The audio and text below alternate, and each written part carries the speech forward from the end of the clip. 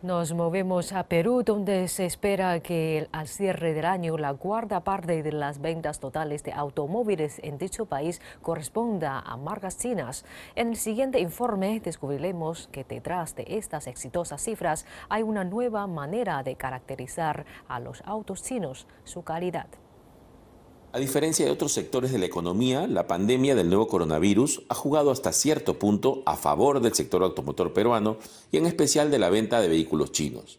Una atractiva combinación de innovación tecnológica y precios competitivos continúa capturando la preferencia del consumidor peruano.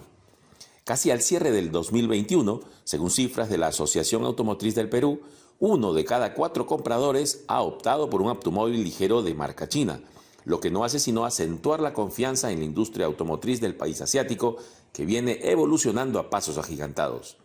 Según Jorge Keklin, experto peruano y conductor del espacio especializado Automundo, la propiedad intelectual y la transferencia de tecnología han sido muy bien capitalizadas por las marcas chinas en su proceso de expansión mundial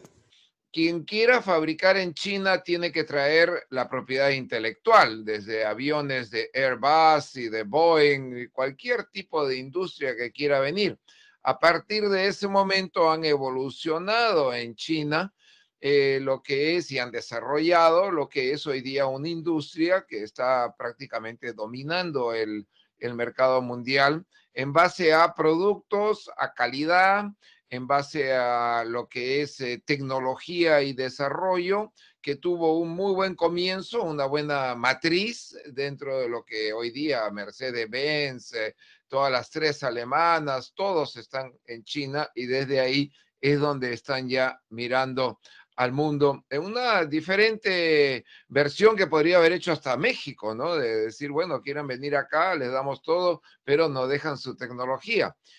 Según datos de la Asociación Automotriz del Perú, solo de enero a octubre de este año, marcas como Fan elevaron sus ventas en 185% con relación a 2020, mientras que Cherry y Jelly crecieron 126 y 123% respectivamente, solo por citar algunos ejemplos, dando claras muestras del expectante lugar que empieza a ocupar la oferta automotriz china en el país andino.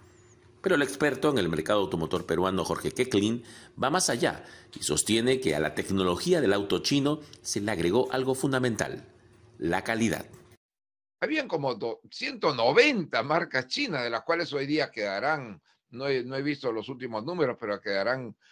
40 marcas chinas, que son las marcas chinas de la transferencia de tecnología de todas las marcas en, como en, la planta de Chang'an, ahí tienen Ford, tienen Audi, tienen todo. Entonces, esa transferencia de tecnología les sirvió mucho, pero la calidad no estaba en cuanto a construcción, en cuanto a, rigidez estructural, era simplemente un auto chino. Hoy eso ya cambió. Entonces, esa ha sido eh, la inversión del Partido eh, Comunista Chino en desarrollar esa inversión en producir vehículos que le faltaba calidad, pero tenían la tecnología y hoy día la tienen. La tendencia parece irreversible, aunque solo el tiempo dirá si la innovación acelerada de la industria automotriz china seguirá dando frutos en mercados como el peruano, donde los consumidores están cambiando el paradigma de precios bajos por un buen diseño y tecnología y sobre todo calidad. CGTN en español.